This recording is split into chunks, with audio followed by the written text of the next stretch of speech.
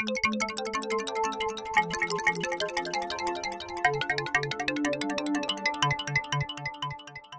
volete fermare?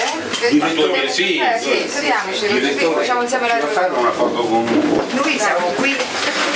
Per portare la, la- la nostra solidarietà e soprattutto la mobilitazione, perché abbiamo deciso che anche per far eh, crescere questa manifesta- manifestazione del, del 19 eh, volevamo stamattina iniziare diciamo, questa carovana, sperando che non si aggiungano diciamo, col passare dei giorni i luoghi che, non- che dovremmo toccare.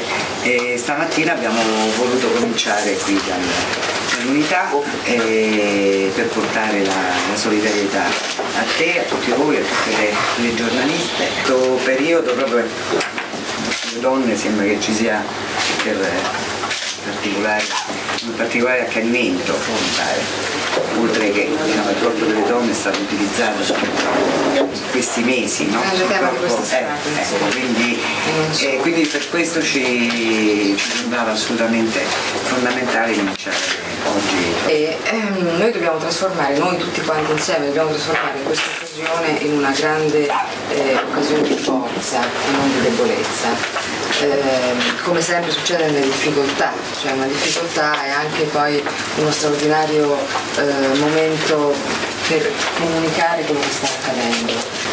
Cioè che odora di manganello, insomma, sì, di una che- violenza. che è di una violenza inusitata rispetto anche di un'escalation rispetto ai, ai miei discorsi che pure erano eh, diciamo, notevolmente segnati dalla loro presenza, però eh, dovremmo riuscire tutti quanti, noi per la nostra parte e voi per la vostra, a mio parere, a utilizzare questo momento di grande attenzione per informare su quello che sta succedendo. Il grande potere eh, di Berlusconi consiste nel fatto che la maggior parte degli italiani eh, non vedono altro che la televisione, dice la carta stampata e i siti internet hanno in questo momento un ruolo assolutamente fondamentale.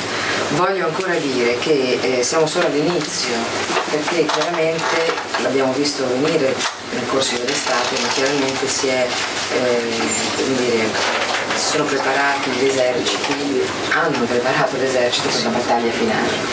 Eh, la battaglia conclusiva, naturalmente come sempre la, la violenza è un sintomo di grande debolezza, quindi dal punto di vista politico il fatto che ci escalation di violenza, molti analisti l'hanno già detto, nasconde una, una situazione di fragilità, di, di- di incertezza anche lì, insomma come dire, no? è una, ehm, una parabola discendente, la campagna che va condotta tutti quanti insieme, quindi vorrei chiedere eh, almeno nel fronte dell'opposizione uno stop alle ostilità, perché noi abbiamo assistito molto spesso in questi ultimi mesi, non solo nel fronte politico ma anche nel fronte giornalistico, a una guerra fratricida, come se i nemici fossimo qua, fossimo noi, e, e perdendo completamente di vista l'obiettivo che è nell'altra metà campo o forse, questa è la migliore delle ipotesi, la peggiore delle ipotesi è che ci sia una volontà invece di fiancheggiare l'avversario, di tenerlo in vita perché è funzionale a un'opposizione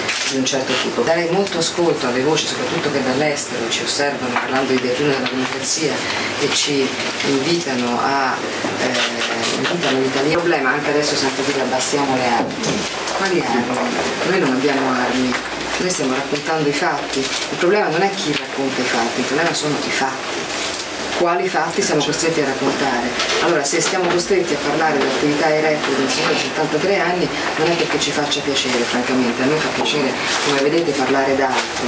Il giorno che è scoppiata questa polemica avevamo in prima pagina le foto dei eh, mh, prigionieri del campo di detenzione libico torturati dall'amico Gheddafi. Camper l'abbiamo pensato proprio per la necessità di far uscire la battaglia sull'informazione e fuori dagli addetti ai lavori e farla diventare uno degli strumenti di una nuova coscienza civi- civica nel nostro paese. Quindi il portare eh, diciamo, questi temi anche fuori dalle redazioni, fuori dalle eh, forze politiche, ma l'opinione pubblica oggi è decisiva, cioè conquistare eh, all'informazione, alla verità l'opinione pubblica oggi è una battaglia decisiva, guarda le forze politiche nel campo democratico, eh, noi siamo convinti che è giunto il momento di porre fine all'ostilità eh, e di guardare a una proposta perché oggi Berlus- una delle forze di Berlusconi è che in campo non vi è un'alternativa democratica.